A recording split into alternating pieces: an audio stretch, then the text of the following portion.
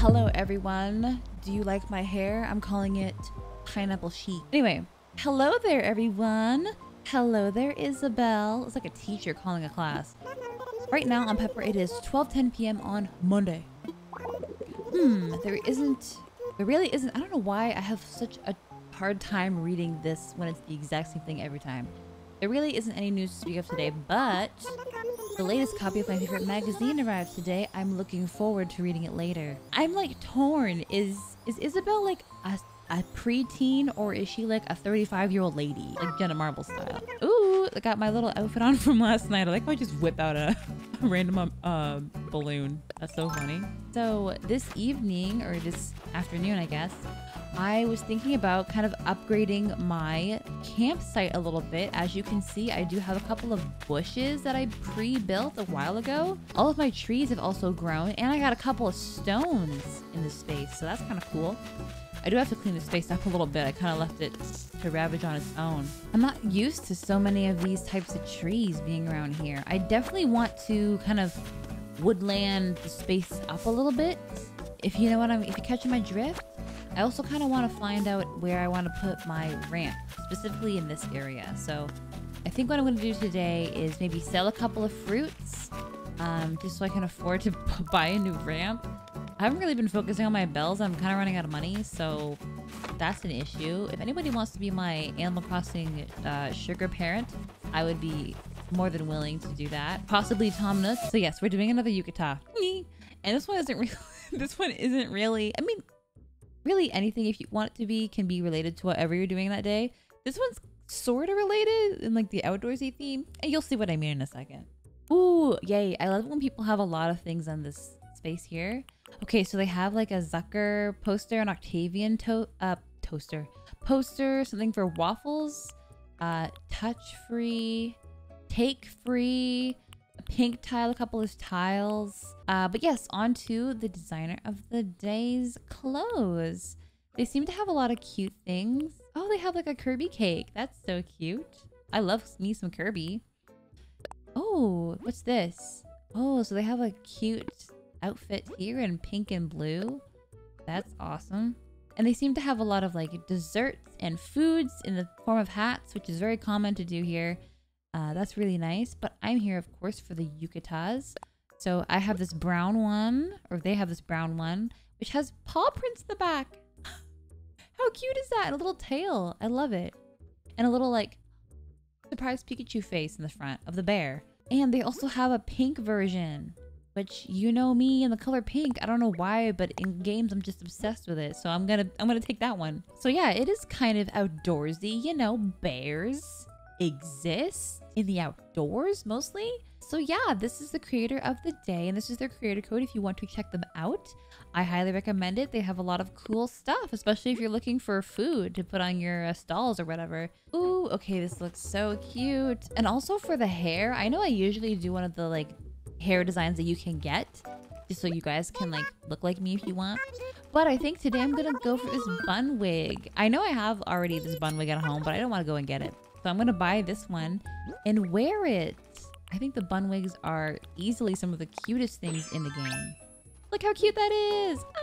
Ah! I'm gonna use my shovel. And let's decide which ones I want to get rid of.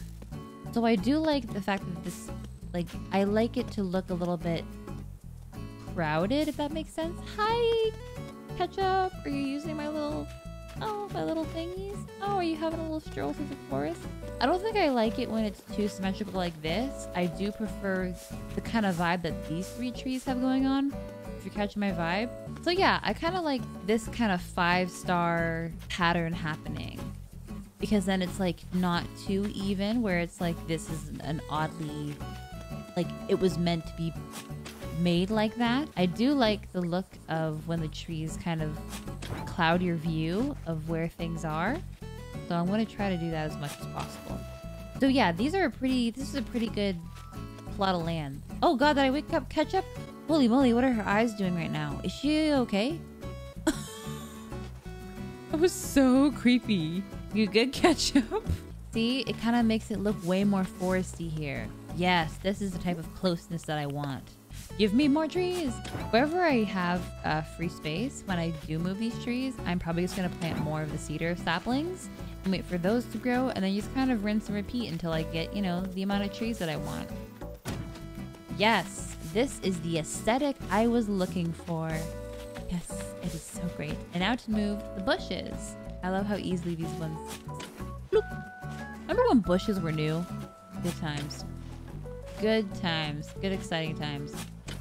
We've come so far. Now we have swimming. We have balloons. We have fireworks.